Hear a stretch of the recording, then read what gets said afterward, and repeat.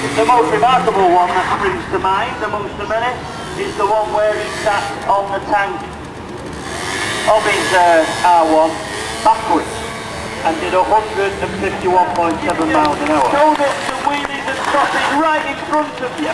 I'm sure he'd look to whistle, shout, throw things at him or whatever. No, no, man. Oh, hey, hang on a minute. A world record attempt.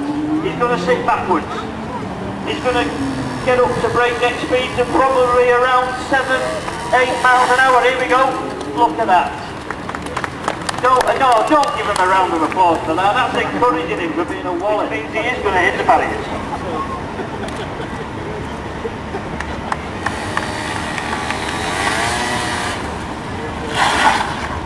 This actually is a standard machine. The reason why he is doing the stuff on the a little scooter, and training.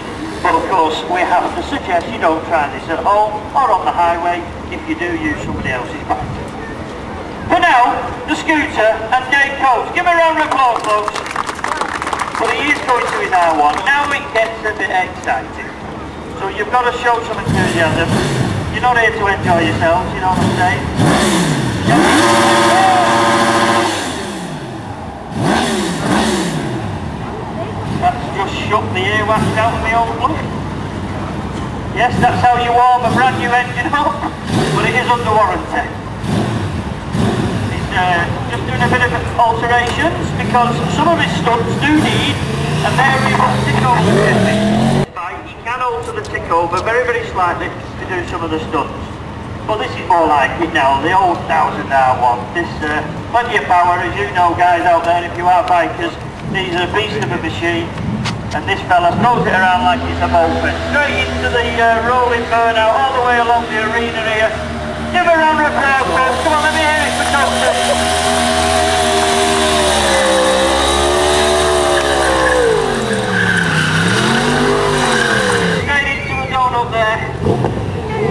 got to get a feel for things, as you can imagine. But this is the fella who can do 21 of these donuts in one minute.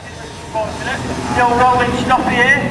Look at that, no problem at all. We were very kindly assisted by the local constabulary who crossed this area.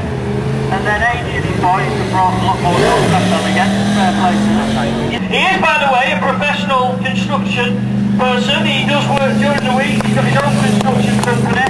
And that's why after five or ten minutes he likes to sit back and have a rest, just like all builders. Any opportunity to put his feet up, at that. Swear he'd have a cup of tea now if he had the opportunity.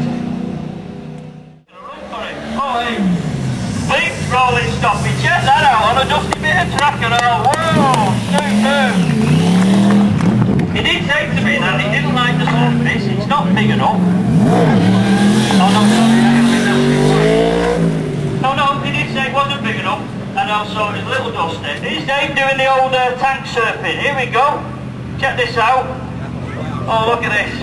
He's stood up right... No, well, not really. What he's doing there, ladies and gentlemen, is that ever the professional is making it look really hard. That's what he's doing. With a bit of luck, back down again, and make it look perfect. It's a fair distance. He wants to go for 10 with involves going round corners. Either that or shutting the M1. Here we go, he's up there now.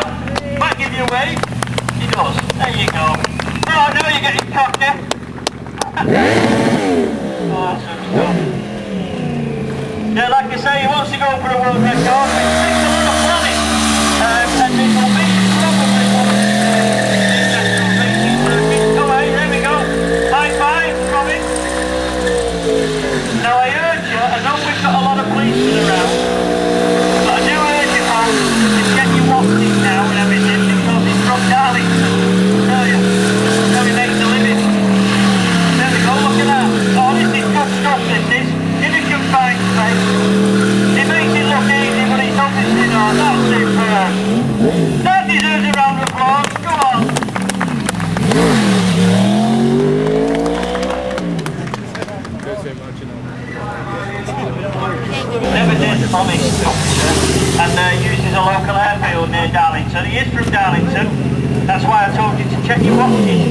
a high five or even your cameras and your mobile phones.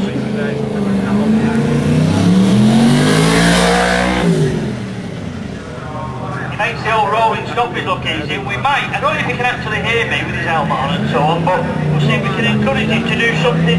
He does rather well. Let's see, let's see if we can encourage him to have a go at this now. Here we go.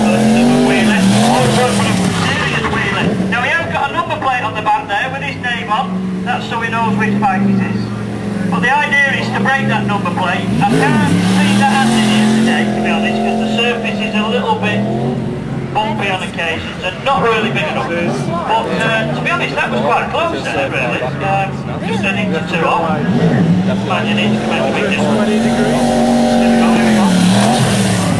He is getting close to vertical, but he's not getting close to breaking the number plate. But he's still a vertical wheelie, and he does break the number plates, this fella, on again, get into the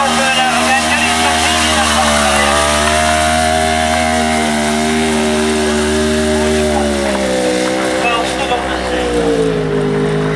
We're very fortunate do which helps because he goes through about 120 sets of tyres. Here we go, check out his front wheel, he's going to lock it up and push the front away. Not what you want to be doing, here we go. Nearly. It's a bit dusty and he, I doubt very much it will lock up. Go on Dave. Yeah, I'll try a bit harder. Well, when it's not exactly grippy, it's obviously twice as hard on a dusty surface. Here we are, check the front. No, Try. Well, that was what we would deem as a failure, but deserves a round of applause for effort. As soon as the back hits the ground, like Stop control that for this fella. It's hard when you biker, by the way, or even inexperienced biker. Don't worry, you don't have to do any of that on the test. Not until you join the police. he does make it look easy, Dave, to be fair. Oh, he opens up the old one-handed rolling stuff. Me, look at that. Awesome. Now, what a lovely day is as well. The old sun's burning on us now, which is absolutely. But I'm reliably informed that is the case always in Sheffield. Is that right? Yeah. Here we go. Now, check this out. One-handed. Wrong hand. Crossing over the left hand over to the right hand handlebar lever and pulling the old front brake. You got a bike here? Just to explain, the front brake is on the right hand side, but Dave crosses over, puts his left hand over there, which is amazing for somebody with a sort of concentration span of a goldfish. Check it out, left hand. Oh yeah, beautifully done. You don't have to do that for passing test. You won't want to do that. Which is very clever because of concentration. Today, because you can't do two things at once normally. You will notice there are two sets of steel safety barriers. Oh, only one. Ah, okay. Right, that means you've just got to put the two wheels, the wrong two.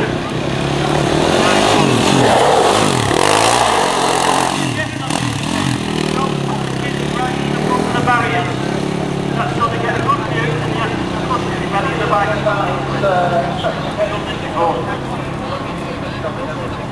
Two wheels and away to the crowd up there. They must be the beach up there, like, on the veranda.